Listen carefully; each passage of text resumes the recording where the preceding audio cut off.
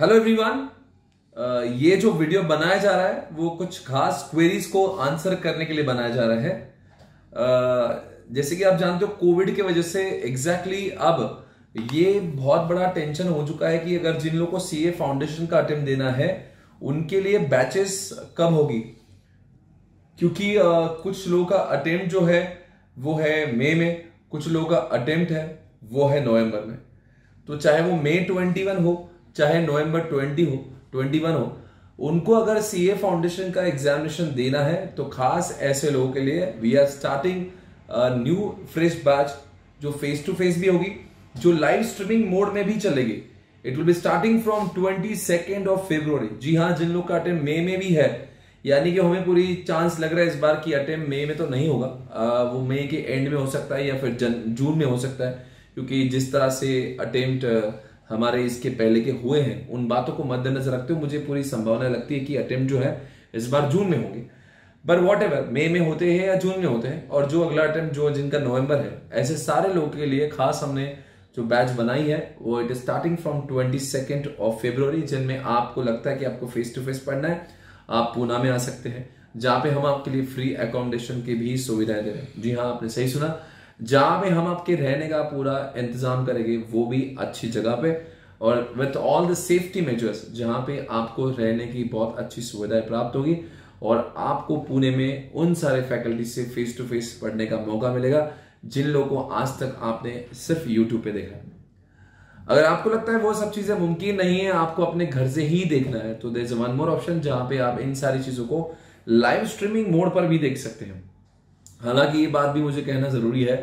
कि अगर जो लोग लाइव स्ट्रीमिंग भी नहीं करना चाहते, जो फेस टू फेस भी नहीं पढ़ना चाहते there are two more option जिसमें हम लोग पेन ड्राइव गूगल ड्राइव को भी ऑप्शन देते हैं और ओटीटी मोड यानी कि ये सारे लेक्चर्स आप मोबाइल एप्लीकेशन पे हो या फिर लैपटॉप पे हो, जैसा आपका मन करता है, जिस भी फॉर्मेट में आप देखना चाहते हो ये सारे लेक्चर्स आप देख सकते हो। और सबसे बड़ी बात ये कि सारे लेक्चर्स के जो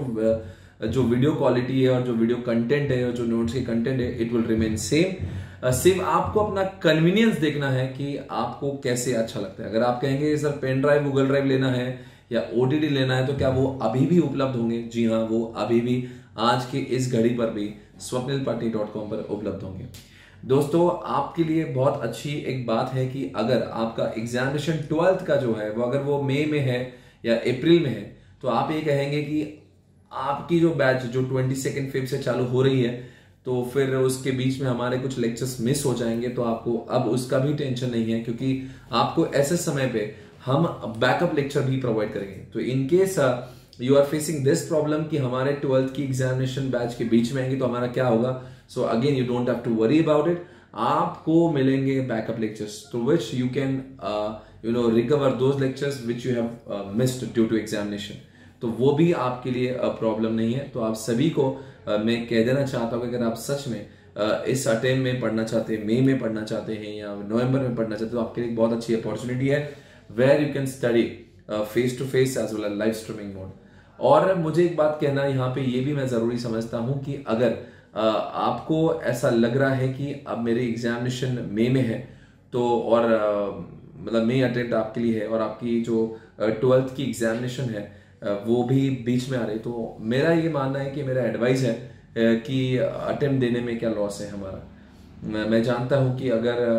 आपकी ट्वेल्थ की एग्जामिनेशन भी है और फाउंडेशन एग्जामिनेशन भी बिल्कुल करीब करीब आती है तो इसमें बिल्कुल भी हमारा लॉस नहीं है। हम तो ट्राई तो कर ही सकते हैं। और अगर हम अच्छे से प्लान करते हैं आज से, अगर मान लीजिए अभी फेब्रुवरी जनवरी चल रहा है फेब्रुवरी चल रहा है तो फेब्रुवरी है मार्च है अप्रैल है, अगर हम लोग ढंग से प्लान करते हैं तो हम लोग बेशक दोनों भी एग्जामिनेशन को अच्छे से क्लियर कर सकते हैं।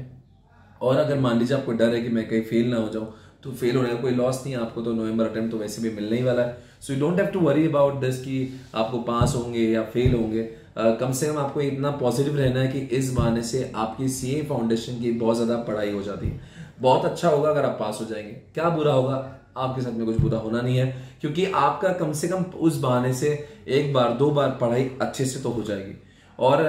जैसे कि आप जानते हैं ट्वेंटी सेकेंड फेब से हम लोग अगर बैचेस चालू करते हैं तो और अगर एग्जामिनेशन इस बार जून में होती है तो हम मैक्सिमम पोर्शन जो है फेस टू फेस और लाइव स्ट्रीमिंग में खत्म कर लेंगे। अगर हमें लगता है कि पूरा पोर्शन खत्म नहीं हो पाएगा तो हम आपको सारे के सारे लेक्चर जितने कवर नहीं होंगे, वो वो हम आपको ओटीटी फॉर्म में दे देंगे, ताकि आपके पूरी तरह से सारे के सारे लेक्चर्स जो है एग्जामिनेशन के पहले कवर हो जाए। तो इन सारी बातों को कवर करना मुझे बहुत ज़रूरी था। अगर आपको इंटरेस्ट है आपको लगता है कि आपको ये बैच को बिल्कुल आ, करना है आपको पूना में आके पढ़ना है या लाइव स्ट्रीम में जैसे भी आपको पढ़ना है तो मेरे इस वीडियो के नीचे आपको एक लिंक दिखेगा जिस पे आपको क्लिक करना है और अपने आप को रजिस्टर करना है। हमारे एग्जीक्यूटिव आपको कॉल करेंगे और आपको पूरी तरह से मदद करेंगे ताकि आप इस बैच के लिए अपने आप को रजिस्टर कर सके। जी हाँ ये बैच उनके लिए भी बहुत